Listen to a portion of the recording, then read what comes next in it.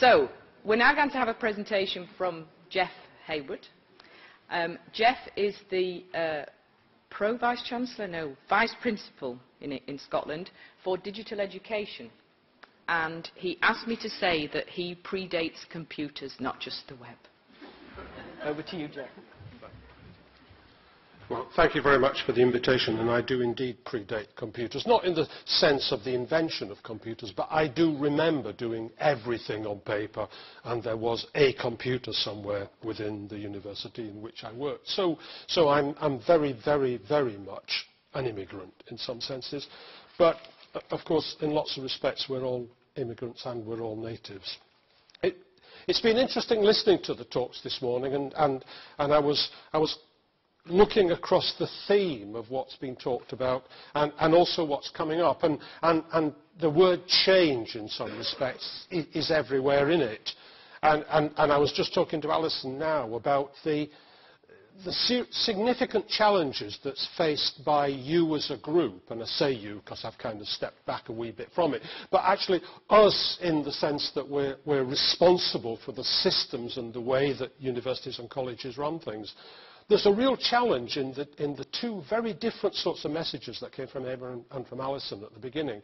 Because one of them is a message that says, hey guys, this, and gals, sorry, it's not a gendered word, um, all of this stuff is unraveling, it's coming to pieces, and, and, and uh, the way things will be in the future is going to be radically different from the way it is now. And I guess all of us, in some sense, believe that there's degrees of truth in that. Whereas Alison actually described very clearly the challenge that one has as a national higher and further education system to make sure that it runs well now and in the coming few years, the attempt to, um, to encompass and understand what's going on so that those people who are participants in it in all their different ways can deal with it. And those two forces, in a sense, are in, are in, are in polarization to each other. One of them saying, saying it's coming apart, and the other one saying we need to manage it better. And, and, and I was saying to Alison that the, the challenge for the people in this room and, and colleagues across the sector is how do they do both of those things at the same time? How do they encompass change and at the same time make everything as it runs better? And, I think that, that, that one of the um, the things that I've learned, and I've spent quite a lot of time over the last year or so working on, and I have 2025 in everything these days, and uh, you know, in a year or two it'll move to 2030.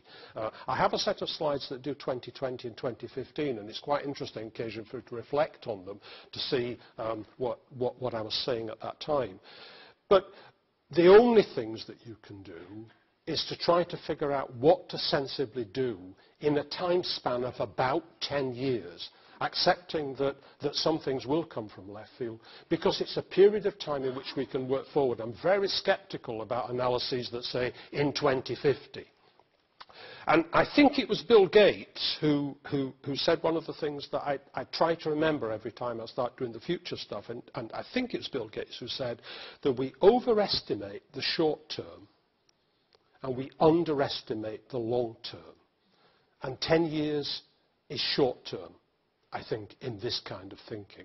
And so the critical thing is not to get fazed by um, the changes that will come, but not to forget that those changes will come and not therefore say, hey guys, the futurists were wrong, it wasn't like that. Because it probably will be. It's just later than, than they tend to predict. I'm going to talk about post-compulsory education. So I'm going to try mostly to talk about education and higher education and further education. It is a bit higher education oriented, but actually I feel that all of those boundaries are blurring out. And so actually the distinctions that we have are uh, increasingly slipping away. And I suppose that, that in answer to my question, and so I'll give you a sense, it's the punchline before I start, what does one do about this difficult changing world and the reality of now and an uncertainty about the pace of change, is it's got to come down to an agile mindset. It's got to come down to openness and sharing. And it's got to come down to serious experimentation, i.e. not just fiddling around with small stuff, but trying big stuff seriously.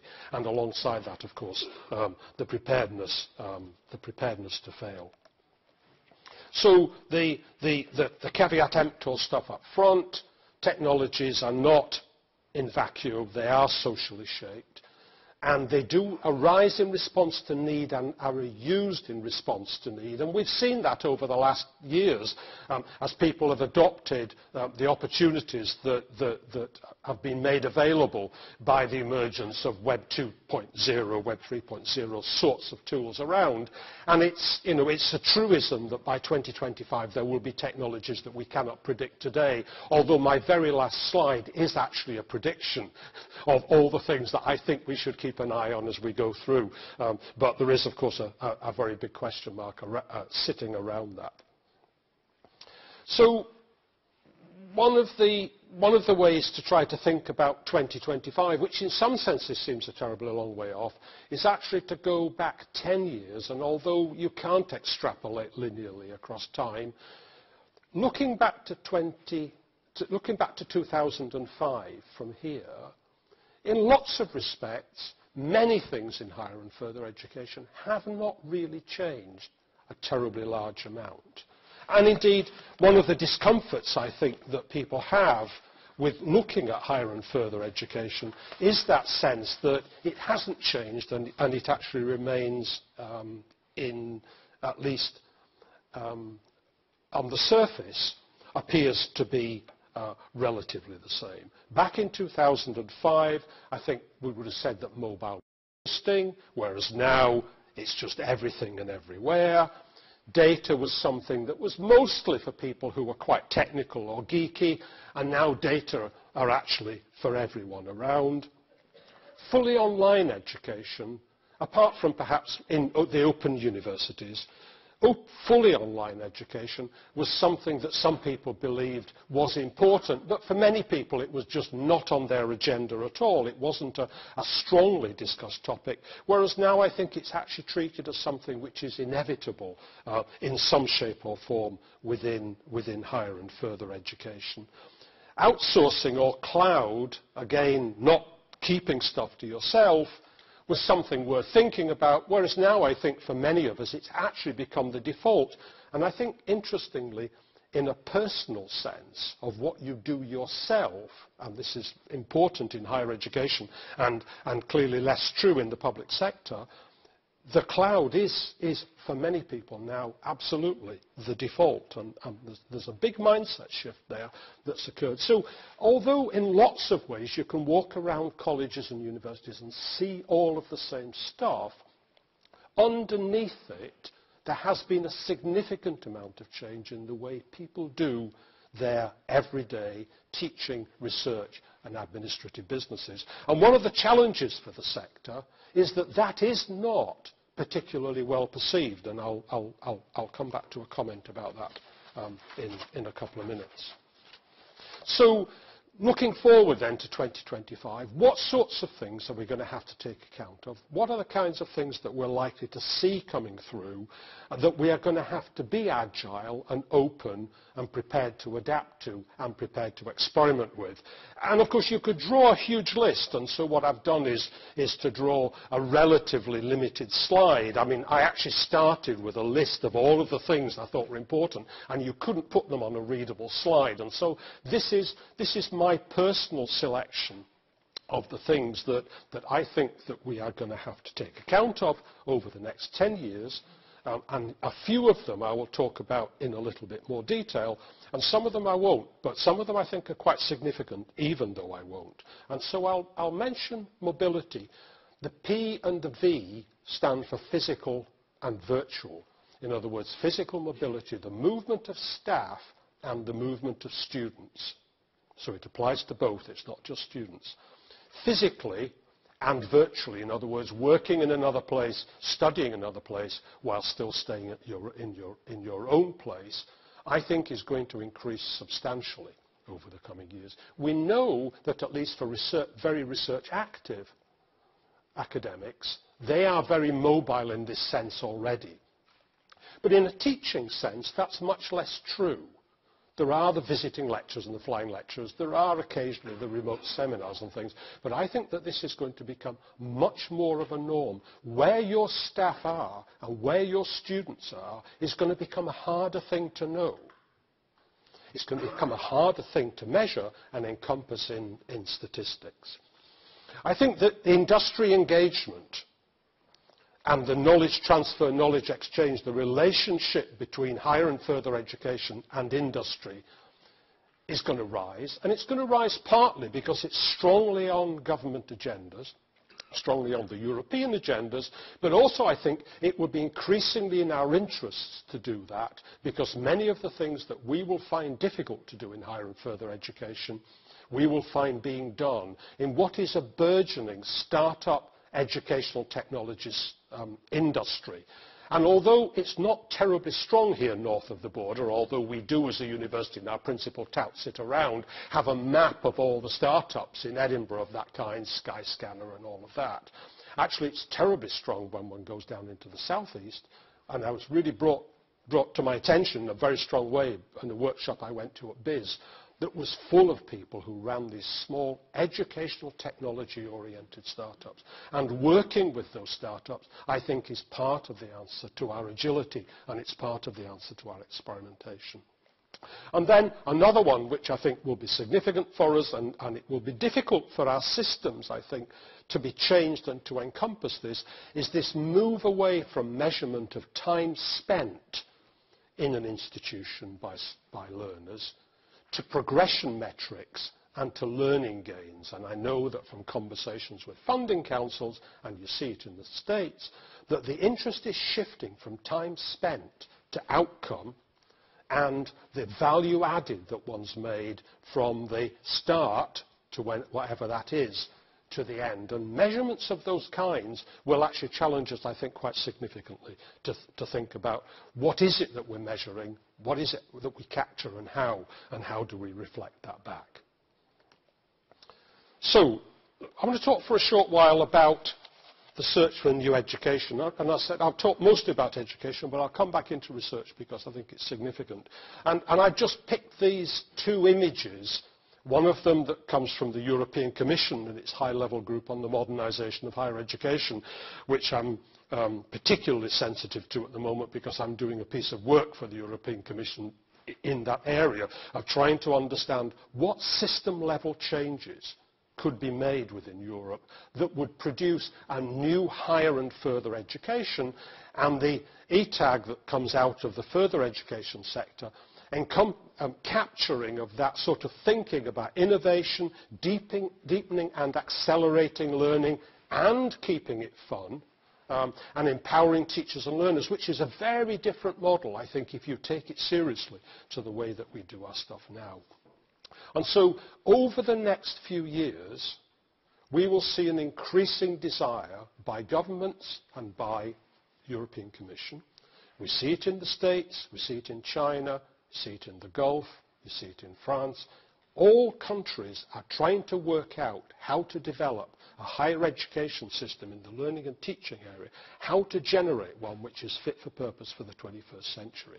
So this, the ability of our systems to find new and better ways of delivering a relevant higher education will stay on the political agenda there was a, a, kind of turbocharge that arrived as a consequence of MOOCs. But it was there before that, and it will continue even if MOOCs actually, and indeed as MOOCs do, fade out of, of, of, of the hype. So we aren't going to see that political desire for change and modernisation to go away. That doesn't mean to say that loads of money will follow, but, but there will be an agenda, and a policy agenda, which is set up which will drive us towards rethinking the way we do our learning and teaching. And there's a big consequence then for all of the systems and the ways that we, that we run things across the institution. And indeed a challenge for many of the commercial organisations um, that supply us with, with the tech and, and, the, and, and the software that we use. I was particularly struck by this Horizon report. And, and Horizon reports have, have always been sort of kind of useful. They come from um, new media in, in the US.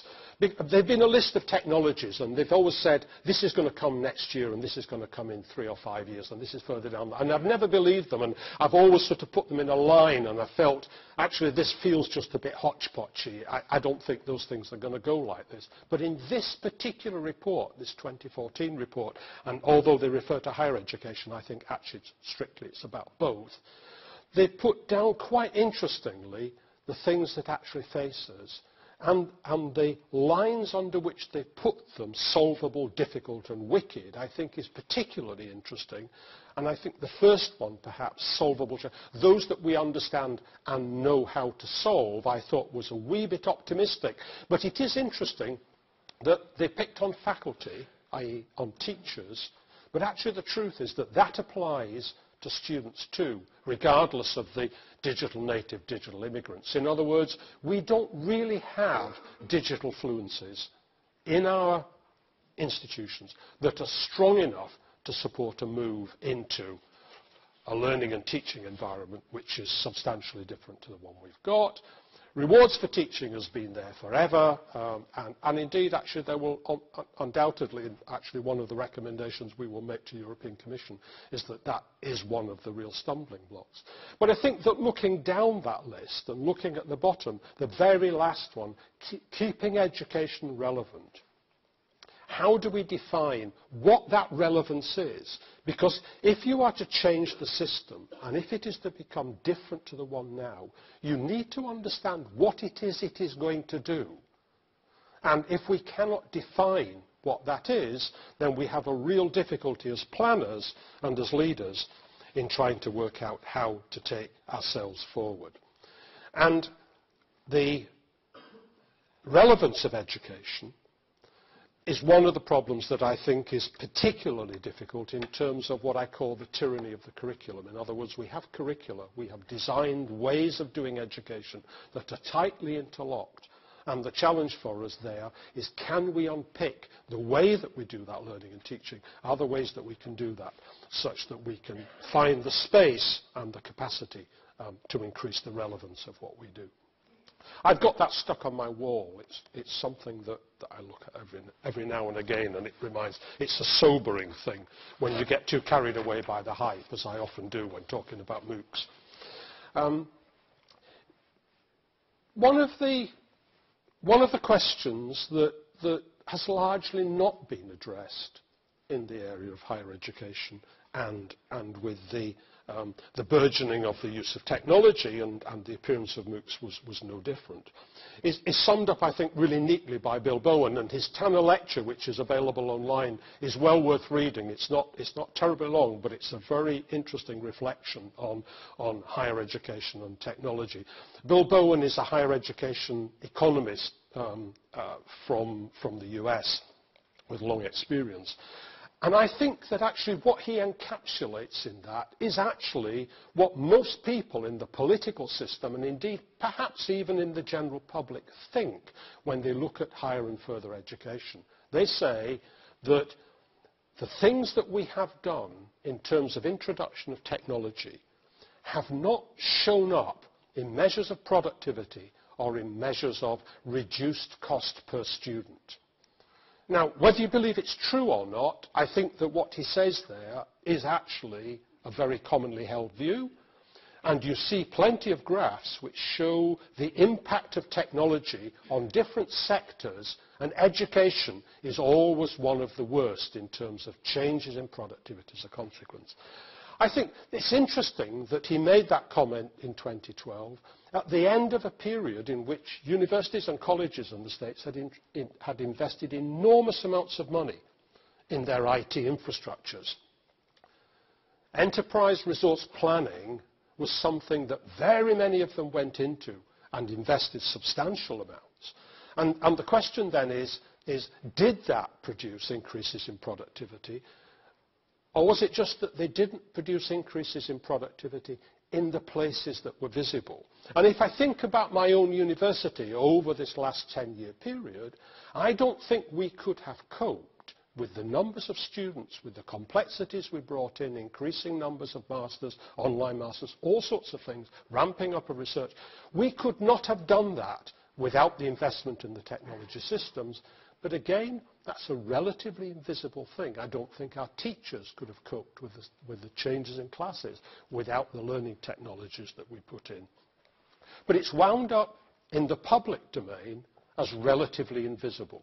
So we have a visibility problem there that the measures that people look for are actually not necessarily the, the ones that have actually taken place, and indeed the ones that have taken place are not necessarily the ones that they actually find particularly compelling. So there's a, there's a public perception question there. So let's, let's take a look at some of the possibilities over the next few years to try to find some ways to change the things that will come in and the things that we can adapt to and the things that we can use that might help us to, to change the way we do higher and further education. And the first one that I've got there, data-based research for all, and I mean for all, I think is going to be one of the significant opportunities that we actually have to grasp higher and further education. You sit online and you just sit simply Googling saying online application to do X and you pick almost anything you like and you find things out there for free that allow you to do those things. You can do your own social network analysis if you like. You can pull data out of Twitter.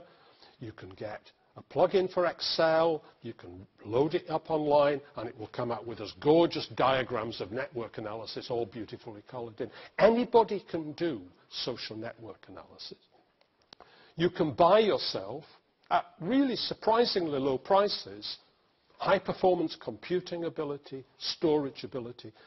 Data sets are increasingly becoming available. And so as a consequence, your ability as a learner, as a teacher, as a researcher to use that set of tools to do research where you never were able to do it before, I think is one of the real burgeonings that we're beginning to see. And so the question is for us as institutions is, how do we engage with that? How do we bring that in to our daily business? How do we, if we are providers centrally, what do we do about providing cloud computing and cloud storage for all of our teachers and all of our students. And then how do we use that to build the skills that they need? Quantitative reasoning, the ability to code, data wrangling, presentation, visualization. Those are parts of the 21st century skill set for graduates from our universities and our colleges. So those opportunities sit there right now and the question is, in the next year, what do we do about it? How do we engage with that and, and begin, to make it, to begin to make it work? And then sitting along the back of that and, and this is a slide that I've, that I've taken from talking about research data management, so those who have heard me talk about it will recognise it. But it was only actually when I was sitting looking at it on the bus down this morning that I realised it actually said two different things, because I had built this slide as meaning, what are universities going to do about the big research data that they hold? But actually the picture on the left isn't a university, that is personal. That is about a teacher and a, and, and a pupil, if you like. It's about us and our data. And in a more devolved world where not in public sector perhaps, but in our sector, where people carry mobile devices and they bring their own stuff, how are we going to help them, as part of our enterprise, create, document, use, share, preserve the data that they are generating and they are manipulating on, on our behalf? And so protecting that digital world and maintaining that digital world and having it available so that it can be drawn upon by others uh, and, and drawn upon by ourselves, I think is another of the big challenges and has to sit alongside the first one about, about data-driven uh, research uh, um, and, and about inquiry learning. And then bring your own technology. And, and, and I guess if you were the captain of the Titanic, this is a mega threat. But actually, from my perspective, I see this as an enormous opportunity. Our learners and our staff bring a huge amount of tech that we do not need to provide. And they have access to and they use a huge amount of open and available technologies that we do not have to buy, procure, manage, version and all of that stuff. And so actually they're bringing us a bounty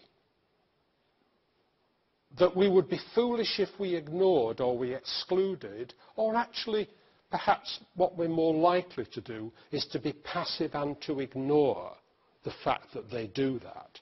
One of the interesting studies that we did in Edinburgh um, a couple of years back, and it, shows, in a sense, our lack of understanding of, of what students did, was in engineering, where the students were asked to do project work. And so they were set a task and they had to go away and do it. And, and, and it, a new member of staff came in and realised they had no idea how they did it because they provided no facilities for them.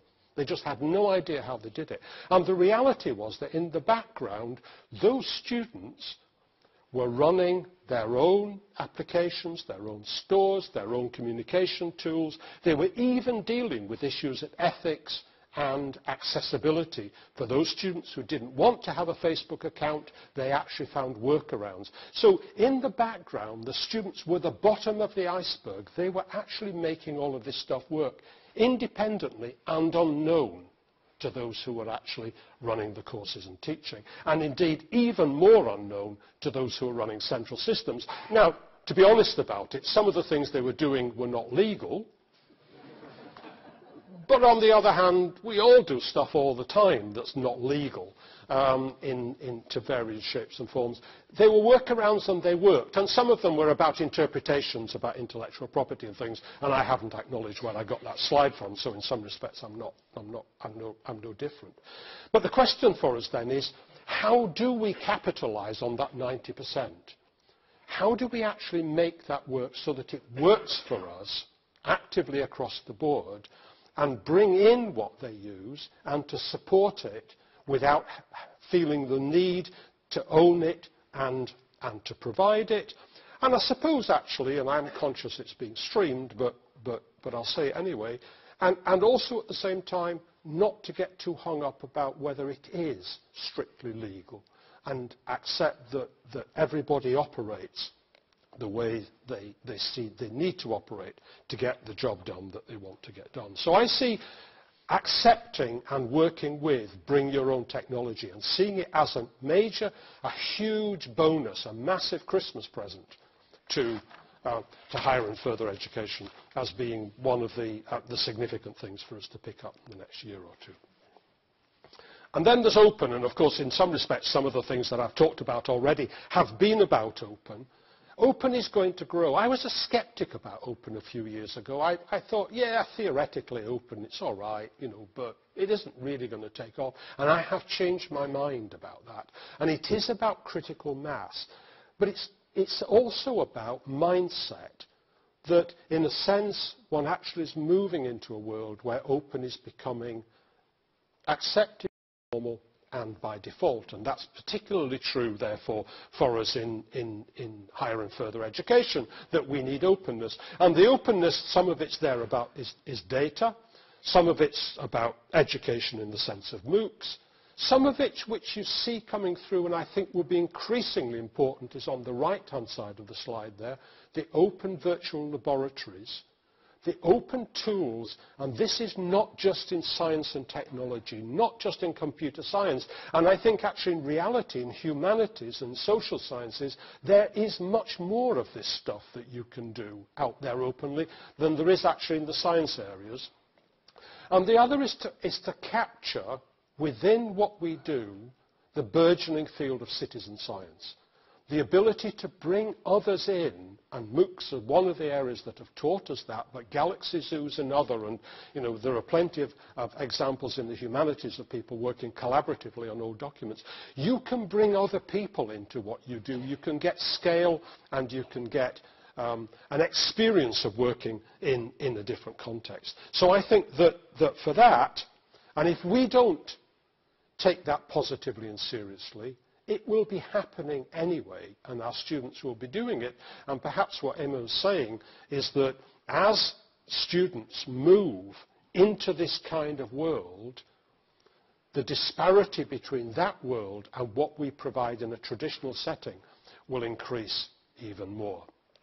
The badging, I don't know whether, whether badging will become a significant threat to degrees, but it may become a significant threat in some areas of our business around vocation, around skills, and actually perhaps around um, continuing professional development. So, I said that I would come to the end and I would talk about, foolishly, having said that one shouldn't predict the future, about some of the technologies that I do see coming through that I think we need to watch. Because what I've looked at so far in the sense of systems and, and, and um, availabilities. But I think that there are some technologies around that will, if they, if they grow over the next 10 years in significant scale and in usability, will have a significant impact actually on all of us personally as well as, as, well as, as, as in, in the education business.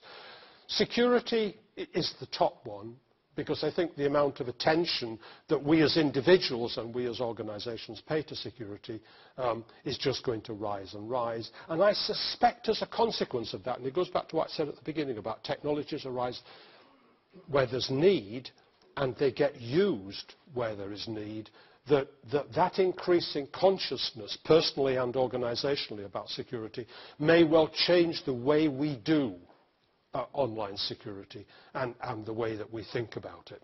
And, and so I think that that is likely to be a, a burgeoning area that we can help our own staff and students come to grips with as it changes.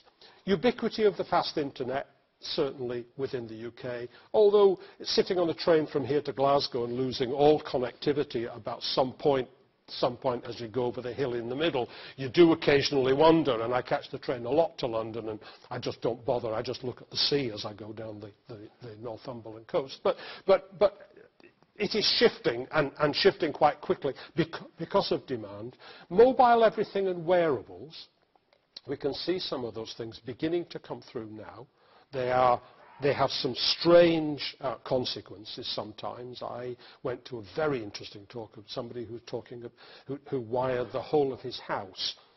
And it was the toilet rolls and the use of toilet rolls that was actually the most striking. Uh, interesting in two ways. Actually, because of the patterns, because it really brought home the intrusiveness of monitors on everything in, in, in, a, in a strange kind of way was quite discomforting.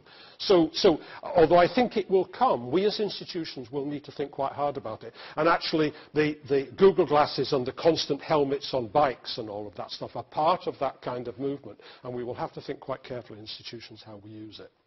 Um, so mobile and everything and the Internet of Things and instrumentation, um, huge opportunities because you're able to monitor and gather data from all, all over tsunami of data which will be hard to deal with, but also significant privacy and, and, and ethical issues sitting around it.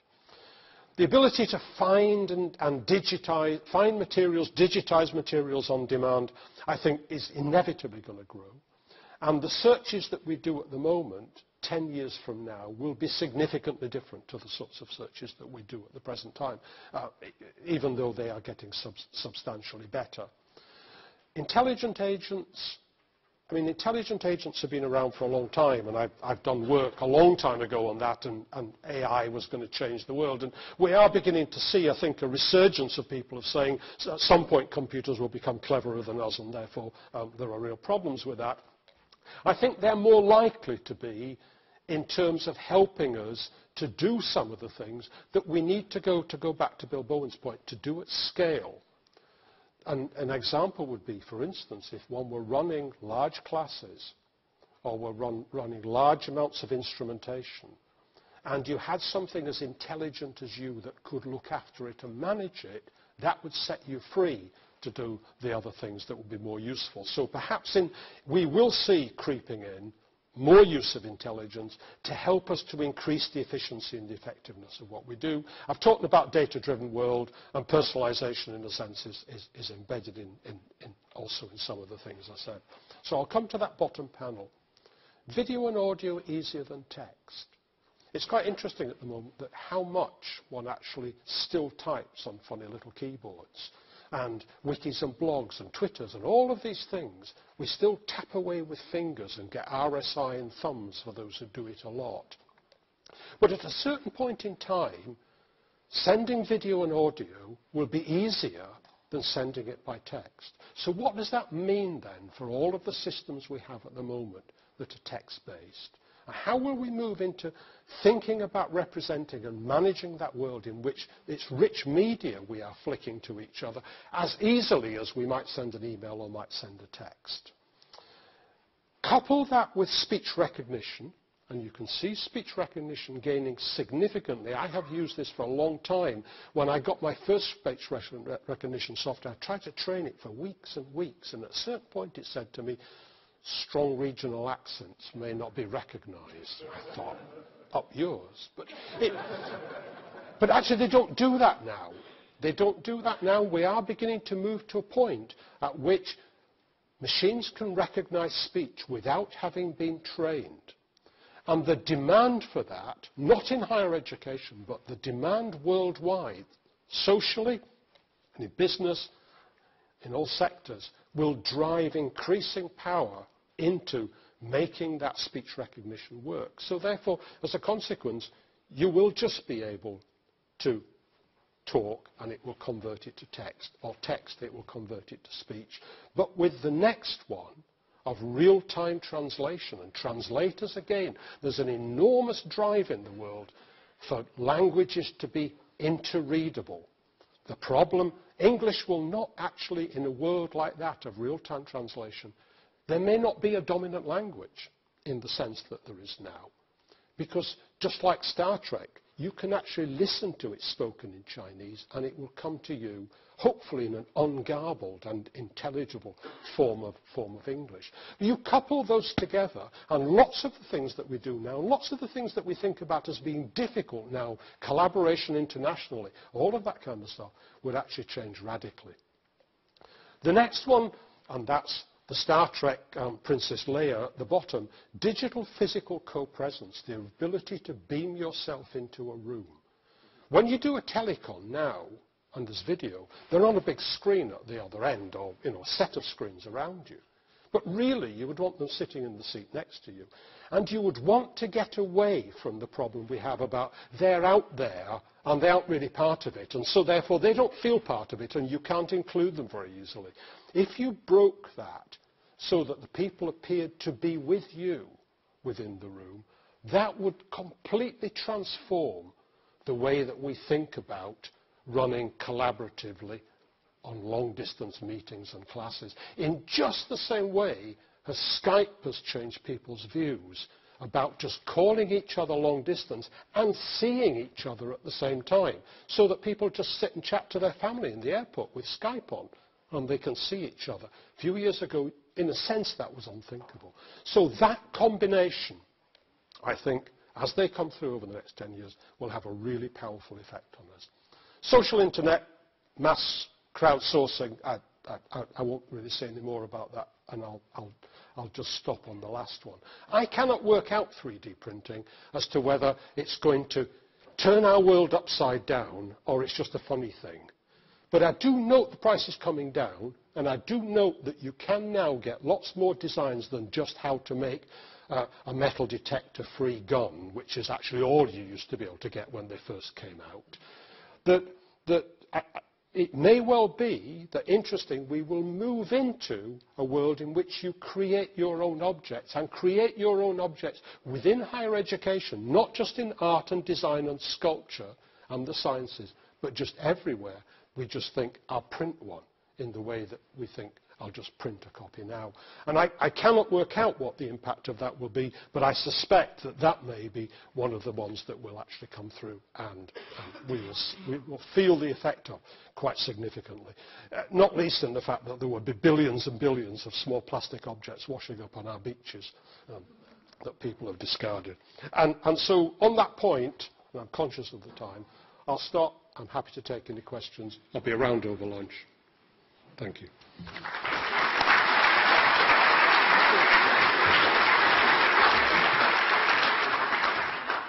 Okie doke. Any questions?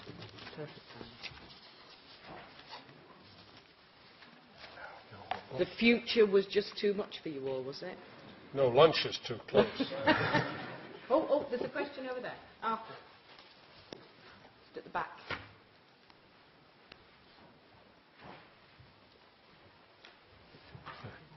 Thank you. Uh, it's just a comment about video, really, as being taking over from text.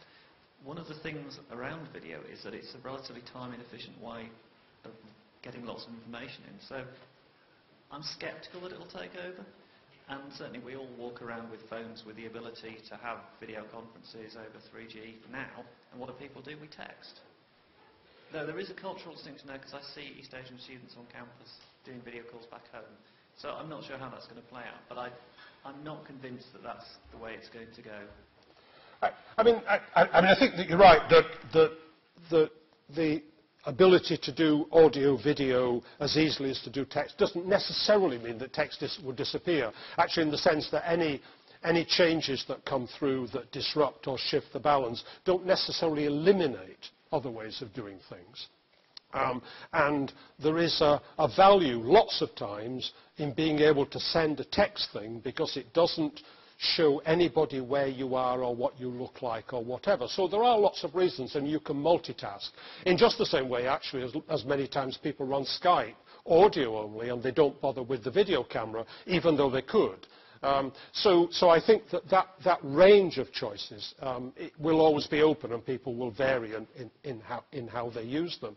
But on the other hand, there are lots of things about the way that we like to communicate with each other. This is particularly true when we're doing something more than just saying, damn, missed the bus, it's raining, can I get a lift? Um, that when one actually wants to do more substantive things, where what you, exactly what you lose is the messages and the, um, the signals that you send by tone and by body language and gesture. And in those settings where it's important, the ability to do that will drive a substantial use, I think.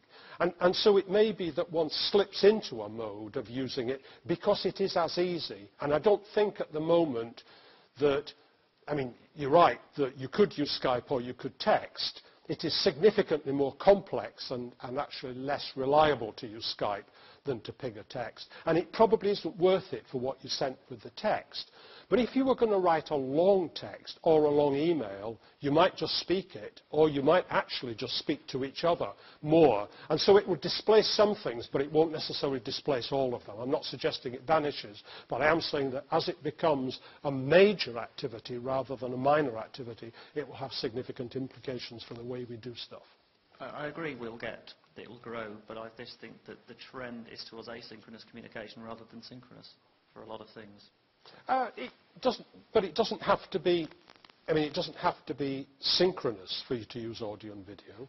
I mean, if I wanted, if I wanted to send you a message where I felt that my personal presence, my tone, and my body language and my gestures mattered, at the moment, I couldn't really effectively do that asynchronously, whereas actually I might just get my phone out, I might just put it on, camera looks at me, and I might speak to it and go bang, and you get 20 seconds of me telling you something or explaining something. Um, that I couldn't have done very effectively with a text. So I think in some instances it, you will still you will use it for asynchronous as well as for synchronous. It's a prediction, let's see. Okay.